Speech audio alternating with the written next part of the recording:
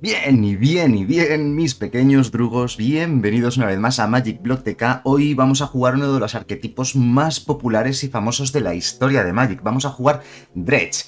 Dredge era una habilidad, bueno, sigue siendo una habilidad que salió en Ravnica, pero en la Ravnica original, es decir, hace un montón de años, y que mm, revolucionó Magic realmente, y es, sobre todo hizo que explotasen los mazos de cementerio, en parte por una carta que es vislumbrar lo impensable, aunque esta carta realmente no se jugó al principio de los tiempos en ese tipo de mazos, hoy en día sí que se ve bastante habitualmente en diferentes tipos de mazos, mazos de moler, es decir, de quear al rival, o en mazos de aprovechamiento del cementerio, como por ejemplo podría ser el caso de Dredge. Esta carta al final eh, surgió como un meme realmente. En los primeros años esta carta pues era para reírte, no, valía para nada, nunca, nunca, digamos, destacó como una carta buena o competitiva, pero ya digo que últimamente ya sí. Y de hecho, como siempre ha sido una carta muy llamativa para los jugadores casuales, siempre ha sido bastante buscada, curiosamente, y ha tenido un precio relativamente alto. No sé cómo andará ahora mismo. Bueno, sí, porque lo estáis viendo en pantalla, lo habéis visto en pantalla, pero que es una carta muy, muy peculiar y que siempre fue muy graciosa hasta que se convirtió en realmente buena. En este mazo no tenemos ninguna carta con la habilidad Dredge. Dredge básicamente eh, lo que quería decir es que si tenías una carta con Dredge o Dragar en español en el cementerio, podías eh, saltarte tu paso de robar y dragar cartas del top del mazo para recuperar esa carta a tu mano. Alguna de las mejores, había un troll en particular que era una de las mejores de ese arquetipo que tenía Dredge 6. Es decir, en el paso de robar, en lugar de robar tu carta de turno, podías devolverte el troll desde el cementerio a la mano, dragando 6 cartas del top de tu mazo al cementerio. O sea que era un mazo con una capacidad de dragar cada vez que... Eso es cada vez que robas, no es, no es en el... cuando robas la carta de turno. Es decir, si tú robas 3 cartas, podías dragar tres veces, ¿no? Entonces con el troll dragabas seis cartas cada vez, dragabas un montón. Básicamente era un mazo de cementerio brutal que funcionaba abusivamente. No tenemos cartas con dragar en esta dredge, pero como digo, porque los tiempos han cambiado. ¿Qué tenemos para tirar cartas al cementerio? Pues ya lo hemos comentado. Vislumbrar lo impensable es una de las principales, porque 10 cartas son muchas cartas. Tenemos también Mirada Sobrenatural. ¿Vale? Mirada Sobrenatural es una carta relativamente nueva que, bueno, por un solo mana azul te permite mm, tirar tres cartas al cementerio, ¿no? O al menos hasta tres. Además, como la, habilidad es escrutar, puedes elegir qué carta dejas en el top del mazo, qué carta tiras al cementerio, etcétera, etcétera. Incluso eso es una pequeña ventaja. Y además, como tiene retrospectiva, puedes eh, jugarla desde el propio cementerio de nuevo. Y eso es bastante útil. Este, este mazo se aprovecha mucho de Mirada Sobrenatural, una carta realmente importante. Tenemos también la Guardasecretos Tritón. Desde que esta carta salió, ha visto bastante juego en mazos de, cementerio en estándar o en Magic Arena en otros eh, formatos de los que tenemos disponibles, porque por un solo mana azul mueles cuatro cartas, que no está nada mal, es bastante cantidad de cartas. Y luego tenemos eh, también para eh, dragar, por ejemplo, una copia de Muerte Poseída, que tiene una habilidad que dice, pagando dos manas, descartar dos cartas de tu mano, las regresas del cementerio al juego girada, ¿vale? Y pone un token 1-1 volador. Pero lo importante es que te ayuda a descartar cartas de la mano que puedes tirar al cementerio de esta manera y poder aprovecharlas. Bueno, la voy a poner aquí, aunque no es exactamente una carta de tirar cartas al cementerio, las tira desde tu mano en lugar desde el mazo, pero sí funciona de una forma similar. Y luego, para apoyar todo esto, tenemos la Fundación del Tercer Camino, que parece una carta muy tonta, pero realmente funciona muy bien. También es una carta reciente, eh, primer capítulo puedes lanzar de tu mano gratis un instantáneo o conjuro de coste 1 o 2 sin pagar su coste.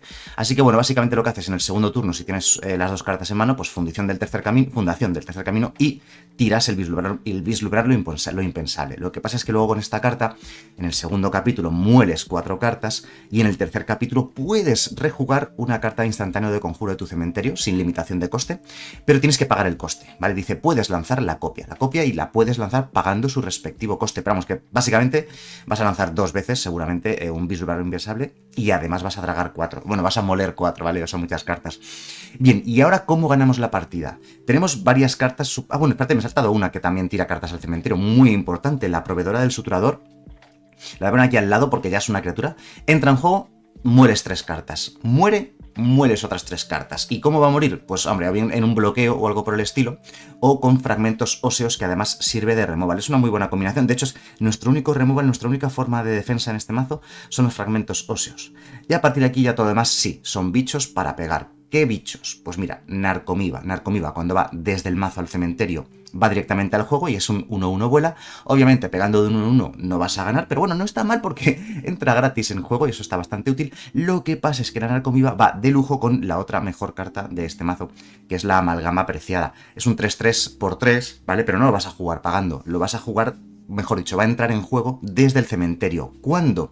Al final del turno va a entrar en juego si alguna criatura de tu mazo entró directamente al juego desde el cementerio, ¿vale? Sería esa la idea. Entonces con Narcomiva, por ejemplo, sería uno de los casos que podríamos poner de ejemplo con los cuales funciona. También funciona con el necrófago herida plateada. Lo mismo, si está en el cementerio, se pone directamente en juego si ganaste tres vidas.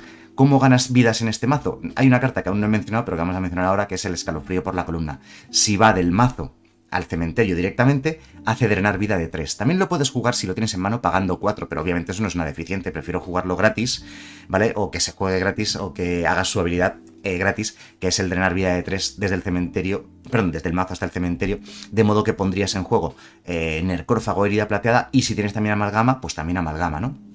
Y luego la otra criatura, estrella del mazo, Espanto Sangriento, una carta que también eh, se ha visto, ha visto juego en, multitud de mazos de cementerio, por 2 es un 2-1. Pero si al rival le quedan menos de 10 vidas, de 10 vidas tiene prisa. Pero además tiene aterrizaje y entra en juego, ¿vale? O sea, es decir, si juegas una tierra, entra en juego directamente el espanto sangriento desde tu cementerio. Y si el rival tiene menos de 10 vidas, además tiene prisa. Así que es otra criatura agresiva con sinergia de cementerio. Por último, llevamos una copia aquí un poquito random de Maravilla, no tenemos ninguna forma de buscarla en particular, pero si esta criatura está en el cementerio, le da volar a todas tus criaturas. A veces el problema es que tus criaturas, pues como no tienen ningún tipo de habilidad de evasión, o aguantan muy poquito, esta aguanta uno, esta también aguanta uno, pues te pueden poner en problemas con los bloqueos. Pues nada, maravilla, todas mis criaturas vuelan, te pego y te mato. Pues este mazo que es un mazo básicamente de eh, juego cosas, te pego y te mato. O sea, no, no tiene mucha profundidad, complejidad, no tiene defensa, prácticamente nada.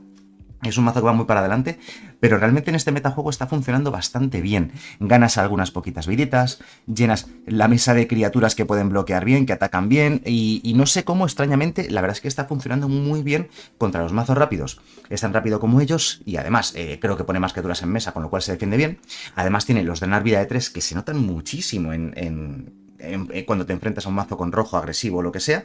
Y luego contra mazos de control si no llevan nada anticementerio, pues va a ser bastante bien. Por cierto, ese es otro problema. Yo este mazo lo veo muy bueno para eh, jugar Best of One, al mejor de una partida. Pero al mejor de tres en Best of Three quizás no sea la mejor de las opciones, porque al mejor de tres los rivales van a llevar muchas cartas anticementerios y te van a hacer la vida realmente imposible. De hecho, incluso en al mejor de una partida también nos encontramos eh, bastantes anticementerios, ¿eh? O sea, es decir, hay algunos mazos que llevan de base alguna carta contra cementerios o pueden acceder a cartas que, que, hacen algo contra tu cementerio y eso te arruina completamente. Bueno, como siempre, ya sabéis, debajo del vídeo en la descripción os dejo el listado del mazo para que lo podáis exportar a Magic Arena y ahora vamos a echarnos unas partiditas. Vamos a por ellas.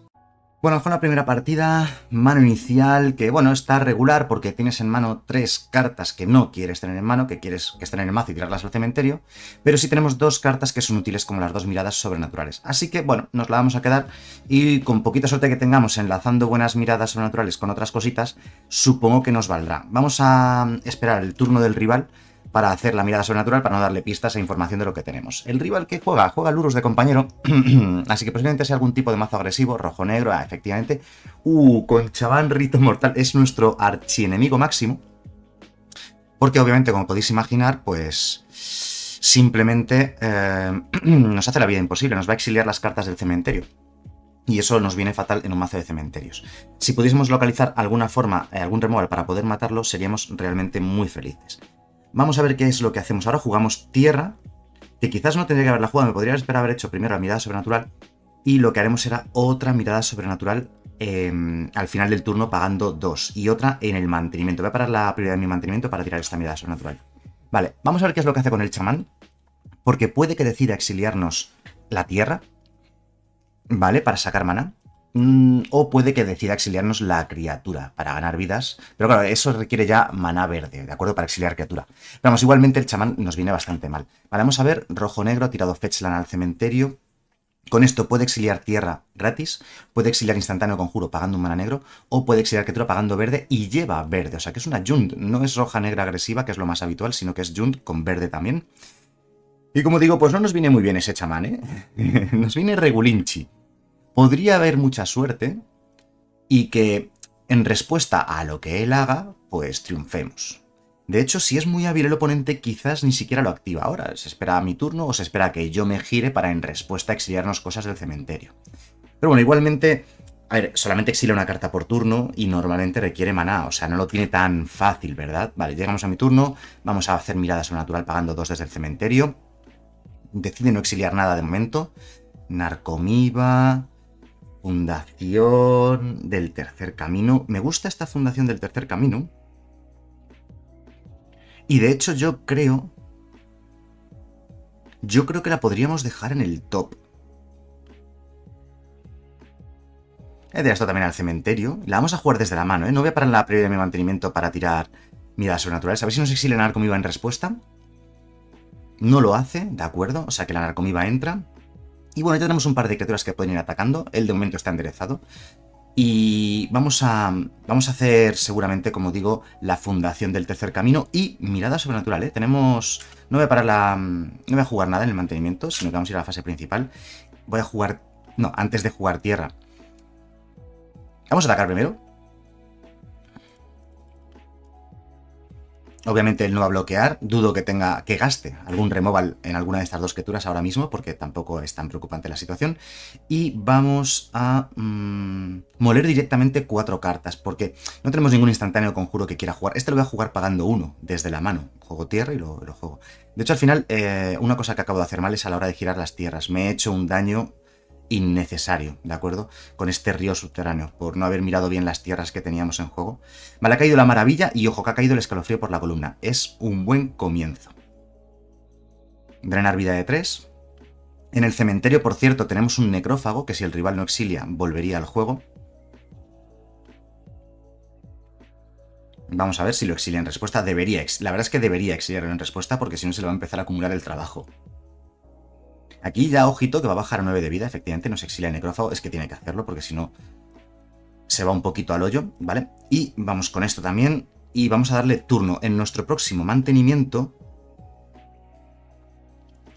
No voy a hacer nada porque se llega al tercer capítulo de esta saga y nos va a permitir jugar desde el cementerio un instantáneo un conjuro, pero tienes que pagar su coste, ¿de acuerdo? Entonces no voy a hacerlo antes de robar la mirada sobrenatural, robaremos lo que sea y luego ya tiraremos los hechizos que correspondan con la fundición del tercer camino y demás cosas.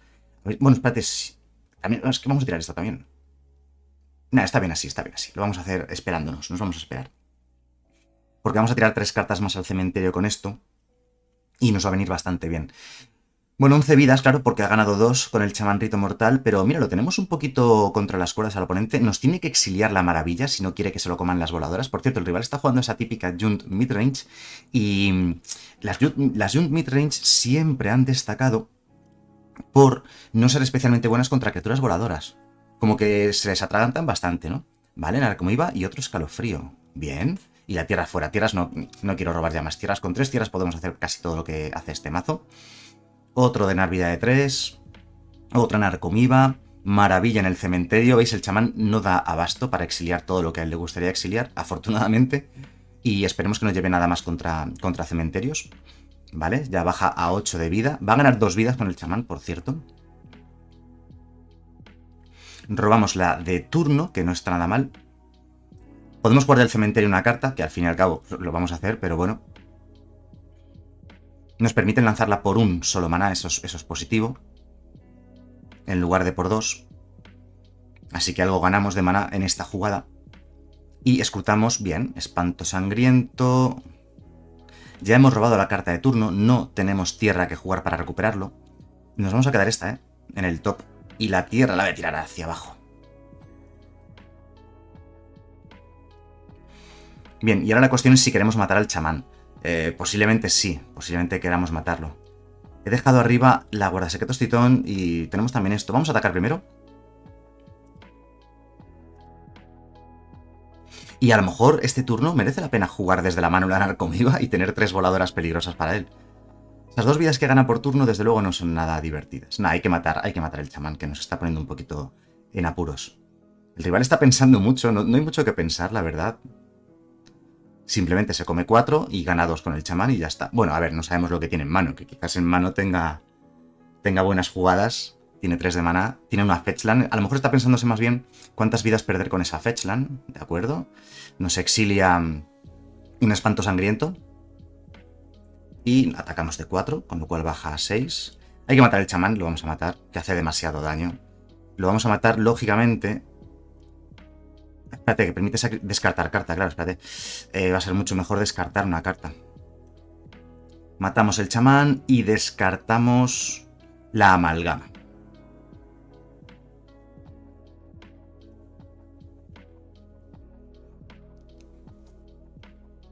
Vale, estupendo.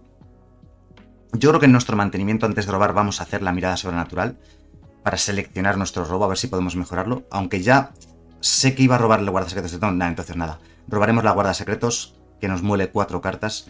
No tendremos la cuarta tierra, tampoco la necesitamos. Vaya, maestros arqueros orcos que nos funden bastante. No sé si nos merecería la pena robar tierra para poner desde el cementerio en juego. No tenemos ninguno. El que está en juego o sea, el que está en juego lo tenemos ahí y este otro ya está exiliado. Nada, nada, entonces está bien. Vamos a hacerlo en el mantenimiento. Cinco viditas le quedan, ¿eh? Está un poquito contra las cuerdas. Nosotros tenemos dos voladoras atacando. Se va a arrepentir de no habernos exiliado la maravilla. La maravilla que hace que nuestras criaturas vuelen cuando la maravilla está en el cementerio y tienes al menos una isla. Tenemos una isla que es la tumba inundada. Ojo, un 8-8. No está mal. Ataca de dos, supongo. Tenemos 23 vidas, vamos bastante sobrados gracias a, los drenar vida de 3 que vamos haciendo. Y este es un buen momento para tirarnos esto a, nosotros mismos. Molemos 4. Vale, hemos ganado la partida porque acabamos de hacer un escalofrío por la columna que nos da la victoria.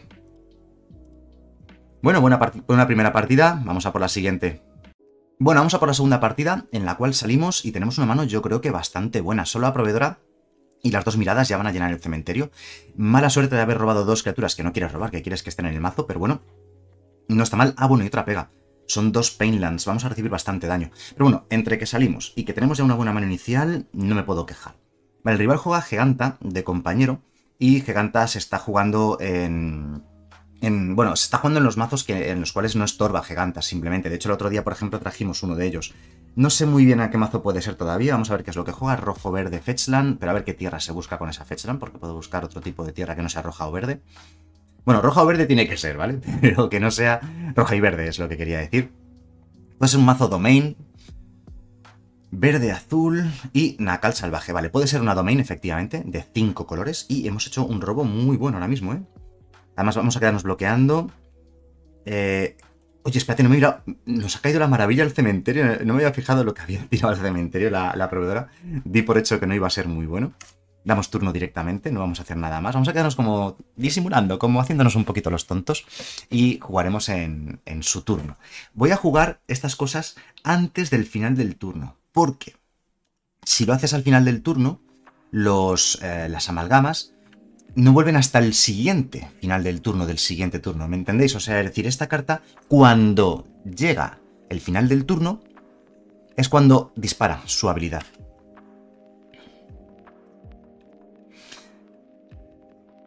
Vale, vamos a dejar que se muera, a ver qué es lo que va al cementerio.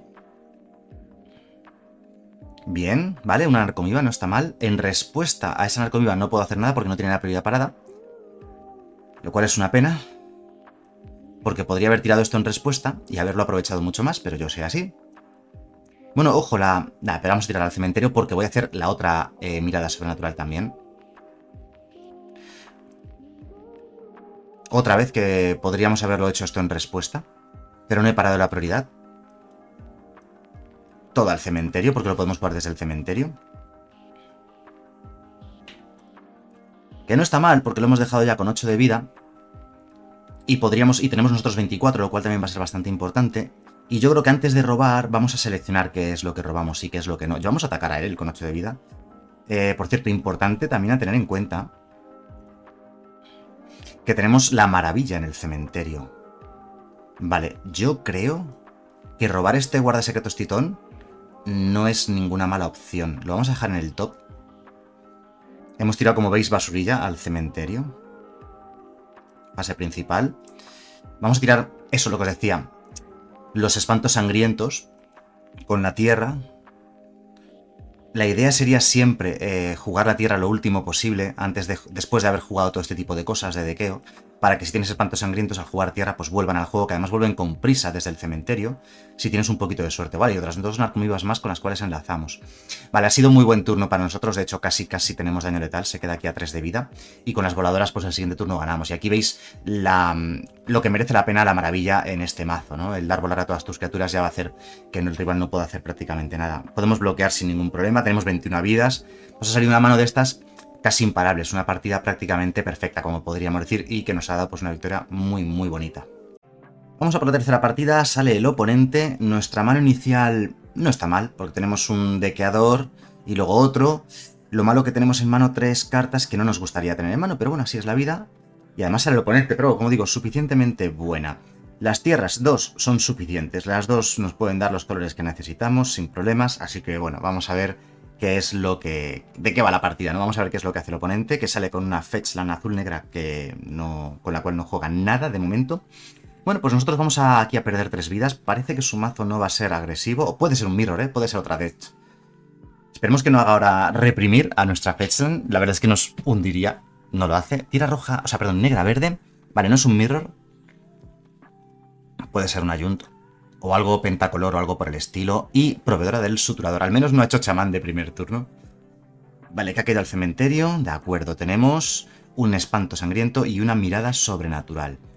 Segundo turno, ¿qué es lo que vamos a hacer? Posiblemente molernos cuatro cartas sea lo más inteligente. Ornito... Vale, acaba de volarme un poco la cabeza. Está jugando dos tierras negras verdes y Ornitóptero sacrificado directamente con disputa mortal, que le da ficha de tesoro y roba dos cartas. Vale. Tierra de turno. Recuperamos espanto sangriento. Y eh, podríamos jugar otro espanto sangriento de estos o hacer la fundación del tercer camino, que yo creo que es lo más inteligente. Desde el primer capítulo no, desde el segundo, porque no tenemos ningún instantáneo conjuro de coste 1 o 2 que podamos jugar desde la mano. Así que nos molemos cuatro cartas, a ver si cae algo bueno. Maravilla otra vez, suerte estamos teniendo y tenemos dos miradas sobrenaturales en el cementerio. Ataco con la proveedora del suturador porque no tiene pinta de que vayamos a andar bloqueando ataques del oponente, ¿de acuerdo? Con esta proveedora. ¿Vale? Es un mazo de combo, ¿eh? El mazo del rival es un mazo de combo. Seguramente sea un mazo de estos de tendrils, ¿no? De zarcillos de la agonía. Efectivamente, con aprendiz de Flosmarcitus. Al fin y al cabo, esta carta funciona muy bien con zarcillos de agonía. Yo creo que los primeros días del formato intemporal os traje un mazo precisamente con Aprendiz de Flosmarcitus. Revisadlo, creo que salió el 12 de diciembre, intemporal, el nuevo formato de Magic, eh, formato Timeless. Y llevaban, eh, llevaba yo en ese mazo, el primer día, el segundo día o el tercer día, en esos primeros dos o tres días, una verde negra con Aprendiz de Flosmarcitus y también con, con, bueno, mazo de combo, de jugar muchos hechizos en un turno y tirárselo todo a la cara al rival. Eh, con unos zacillos de agonía enormes, ¿no? Vale, escrutamos 3, pagamos, hay que pagar, ¿vale? Con, la fundación hay que pagar el, coste del hechizo. Esto lo necesitamos. Vamos a tirar la tierra y la amalgama. Y esto me gustaría robarlo el siguiente turno. Lo que pasa es que va a llegar un poquito tarde. No sé si merece la pena dejarlo en el top. Lo voy a tirar al cementerio, aunque lo necesitaríamos para matar ese aprendiz de Flosmarcitus, eh, por una sencilla razón, que es la de profundizar, ¿eh? Lo voy a hacer ya, en mi fase principal. oh. La narcomiva así, los vislumbrar lo impensable. Ah, qué rabia, ¿eh? Lo tiro, tiro uno al cementerio y el otro lo dejo en el top, porque como el primero lo voy a jugar, sería tontería, el segundo iría al cementerio igualmente, así que prefiero seguir profundizando.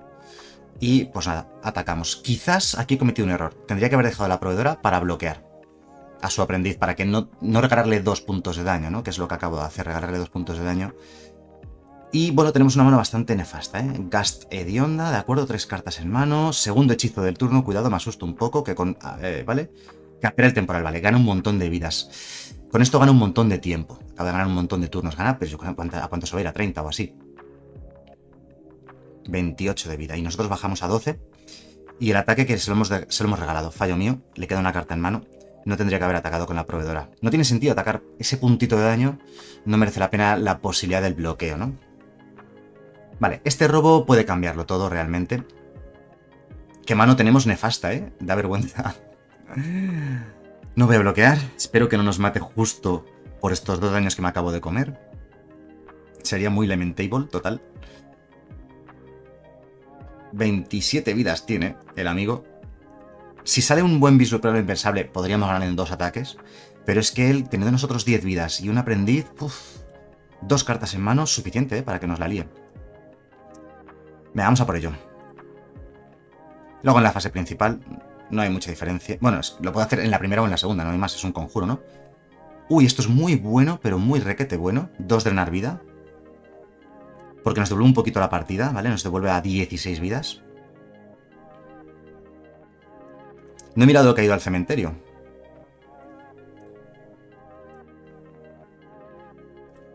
No hemos tenido mucha suerte con esto. Voy a dejar para bloquear... La narcomiva, para poder bloquear a sus dos posibles atacantes, ¿de acuerdo? Porque antes hemos regalado dos vidas por una mala decisión. No va a cambiar la partida por haber hecho un ataque de estos de más o de menos, sino más bien todo lo contrario. 3 y 3, 6, 7, 9, 10. ¿De acuerdo? Tenemos tres tierras. Pegamos de 10, como os decía, dos ataques más vamos a necesitar. Necropotencia, vale, aquí ya el rival roba lo que quiere, por tanto, el siguiente turno nos podría ganar perfectamente, ¿vale? El siguiente turno ya aquí el oponente nos podría ganar perfectamente. ¿Por qué? Porque se va a llenar la mano y sabe que nosotros pegamos de 10 volando. 3 y 3, 6, 7, 9, 10. 10, como mucho, 12. Ah, pues espérate, que pegamos 12 volando. pues hemos ganado entonces. No, porque se queda 11, es muy listo nuestro oponente. Y fijaos, se deja justo eh, lo suficiente para que esto no tenga prisa, ¿no? Pero ha vuelto a una amalgama al juego. Con la que no había contado, ¿eh? Ha vuelto al juego y no, no contaba yo con ella. Así que, así que sí, está muerto. Si tenemos daño letal ahora, pegamos... Bueno, puede tener en, en mano otro capear el temporal y ganar las vidas suficientes para que no ganemos, ¿eh? Igualmente tenemos más espantos sang... No nos sirven, claro. Ah, pues tenemos un escalofrío. Si robamos tierra, podemos tirárselo a la cara. Mira, pum. No hay que hacer objetivo. Siempre, siempre hago objetivo en esta carta, no hace objetivo. Y bueno, esperemos que no haya sorpresa y que tenga ahora un removal de algún tipo, que pueda sacrificar la gaste de onda y nos mate el necrófago. Capear el temporal sí que tenía, sí que tenía. ¿A cuánto sube? ¿No es, no es suficiente para que ganemos? Sube a 12. 13 a 16. Buah, buah, buah se queda 3 de vida. Sí tenía el capear. Vale, nosotros nos hemos quedado en 17. Nos quita 3 vidas con estos. Bajamos a 14. Ah, nos va a ganar con el combo al final. Si tienen mano zarcillos, nos quita toda la vida. Esperemos que no sean justo 14 de vida lo que nos quita, porque me daría mucha rabia. Yo creo que nos quitaría mucho más, ¿no? Si tiene los zarcillos... Si tiene los zarcillos creo que son ya más de 14. O no tiene el combo, ¿vale? Porque acaba de robar una carta con necropotencia. Bueno, no la roba hasta el final del turno de una forma un poco innecesaria, se queda con una vida. O tiene otra, eh, otro capear el temporal. Espérate, a ver si lo tiene. Que lo mismo va a tirarnos otro capear el temporal. Pega de 3. Tendríamos que haber dejado la proveedora para bloquear. Nah, pero no, nah, está bien atacado con todo. Porque yo no sabía si tenía capear el temporal o cuántas, cuántos hechizos tenía eh, jugados ese turno. No, pues no nos ha ganado. Nos quedamos con 14. Tiene un bloqueador, pero no va a ser suficiente. Y nosotros jugamos doble espanto sangriento además para tener todavía más ataque. Oh, victoria al final. Bueno, bueno, pues no ha estado mal. Este mazo, este mazo es muy bueno, es uno de los mejores mazos del metajuego ahora mismo.